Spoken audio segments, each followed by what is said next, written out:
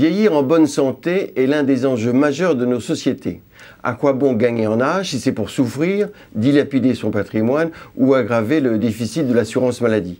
Or, il est un domaine connu et mal connu, en fait, ce sont les os et les articulations. Alors, pour en parler, euh, Francis Berembaum, vous êtes euh, chef du service de rhumatologie à Saint-Antoine et vous organisez un nouveau colloque, c'est vieillir en bonne santé, euh, les os et les articulations. Alors, pourquoi tout d'un coup cette, cette, inquiétude et en quelque sorte ce, cri d'alarme? Vous parlez un peu d'épidémie silencieuse. Absolument. En, en, fait, on a pris l'opportunité de cette journée mondiale de l'arthrite. World Arthritis Day, qui a lieu chaque année le 12, décembre, le 12 euh, octobre. Et euh, on a décidé de faire le lendemain, le 13 octobre, le lundi, une journée qui va être consacrée à la recherche dans le domaine des maladies ostéoarticulaires, des rhumatismes. Et euh, à cette occasion-là, on va même également inviter les associations de malades pour leur expliquer également les, avancées dans la recherche. Alors tout le monde sait qu'à partir d'un certain âge, on a un petit peu mal aux, articulations, mais vous dites avec le vieillissement de la population, ça devient un problème très très important qui a un coût très élevé. Il y a 200 000 prothèses chaque année euh, sur des articulations, des os qui sont posées euh, en France. et donc il faut réagir. Réagir avant tout par la prévention. Absolument. Il faut vraiment réagir parce qu'il faut imaginer que les rhumatismes, c'est un terme très large qui englobe pas uniquement les rhumatismes comme l'arthrose, mais ça englobe également l'ostéoporose, ça va englober également tout ce qui concerne les problèmes de tendons, etc. Et on va se dire, comme ça, c'est quelque chose qui n'est pas très grave. Euh, après tout, on a mal, ben voilà, on a mal. Mais en fait, il faut connaître les conséquences de ça.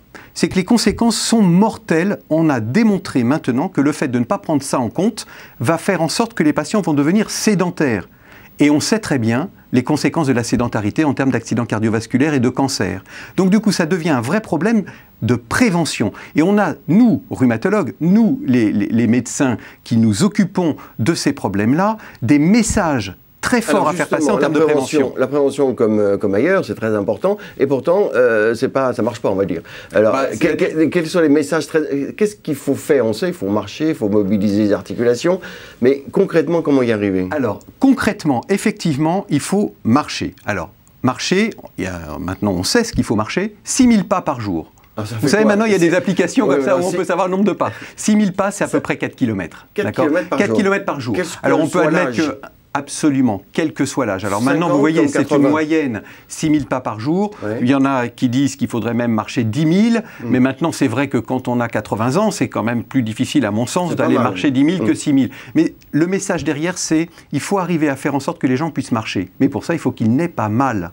Et pour qu'ils n'aient pas mal, il faut qu'on puisse leur donner des traitements qui vont pouvoir soulager leur douleur. Mm. Et quand je dis traitement, ça ne veut pas dire médicament uniquement. Ça veut dire également, éventuellement, de la kinésithérapie. Ça veut dire également peut-être perdre du poids parce qu'on sait que l'obésité est un facteur de risque majeur pour les problèmes ostéo-articulaires. Donc vous voyez, il y, a, tout un ensemble de prises en charge qui ne repose pas uniquement sur les médicaments, même si on connaît les limites pour certaines de ces pathologies ostéo-articulaires. Alors c'est assez simple quand même, marcher, il n'y a rien de plus simple. Ah oui, c'est ce qui paraît. Mais j'en parlais il y a encore 48 heures avec un diabétologue très réputé. Il passe son temps à délivrer des messages qui est il faut que vous ayez une activité physique et que vous marchiez des heures en consultation. Et il me disait les patients passent des heures à m'expliquer qu'ils ne peuvent pas y arriver parce qu'ils ont mal. Et donc en fait, le gros problème, c'est que à partir d'un certain âge, ce n'est pas une fatalité, parce qu'on sait qu'on pourrait arriver à terme à prévenir ça. Mais aujourd'hui, eh bien, ces personnes-là ne peuvent pas marcher et ça aboutit au problème actuel représenté par la sédentarité. Donc, il faut marcher avant d'avoir mal, quoi. Il ne faut pas arrêter de marcher. Alors ça, c'est un, message très important en termes de prévention, c'est surtout éviter la sédentarité. Alors votre journée euh, bien vieillir autour des os et des articulations, c'est aussi une, journée qui est très consacrée à la recherche, hein, parce qu'il y a des domaines de, importants, intéressants qui peuvent se développer. Alors évidemment, vous voudriez plus de moyens, c'est naturel. Quels sont les domaines de, recherche les, les, plus, les, plus, prometteurs La thérapie cellulaire Alors oui, il y, a plusieurs domaines de recherche. Bien sûr, il y a des domaines qui sont un petit peu plus euh, fondamentaux, euh, qui sont du domaine de ce qu'on appelle la génomique. Enfin, c'est quelque chose d'assez compliqué, c'est-à-dire en gros gros, arriver vers quelque chose qui serait plus personnalisé en termes de médecine, en identifiant mieux certains facteurs de risque chez certains patients. Mais la médecine génomique personnalisée qu'on retrouve en cancérologie, en rhumatologie, dans toutes les spécialités. Des sortes de signatures qu'on arriverait à trouver chez certains patients qui nous permettraient de dire attention, là, il faudrait plutôt traiter comme cela plutôt que comme cela parce que le pronostic, il est moins bon ici et là, il est plutôt meilleur. Euh, C'est toute la médecine. Mais ce qui se passe aujourd'hui, c'est que les, les besoins en recherche de ce type-là, dans le domaine particulier osteoarticulaire, aujourd'hui vraiment est en manque. D'accord. Alors donc il y a la médecine génomique personnalisée et puis surtout la thérapie cellulaire. Et puis entre autres la thérapie cellulaire. la thérapie cellulaire qui est également des grandes, euh, fait partie des grandes avancées de ces derniers temps. En gros, c'est d'arriver à prendre des cellules qu'on dit des cellules souches et qui permettraient en les mettant dans un environnement particulier, à les faire orienter vers, allez, on va dire une sorte de régénération. Alors ça paraît peut-être un petit peu aujourd'hui un rêve, mais en tout cas, aujourd'hui, il y a des essais. Il y a même des essais chez l'homme. Ce qui est intéressant, c'est qu'on prend les cellules souches, ce qui est un petit peu compliqué, on les transforme en cellules de cartilage, mais aussi c'est l'environnement des cellules qui va stimuler le cartilage, non? C'est à la fois l'environnement qui va stimuler pour faire du cartilage, par exemple pour le cartilage, mais pour l'os ça pourrait être pareil, mais c'est également le défi, c'est parce que lorsqu'il y a un environnement qui est malade, eh bien, on ne va pas y arriver. Et donc aujourd'hui, les limites de cette technique-là, c'est justement le fait qu'il faut qu'on arrive à maîtriser l'environnement pour que ça puisse orienter, mais même dans un environnement qui est malade. Et c'est un peu ça la difficulté aujourd'hui. D'accord.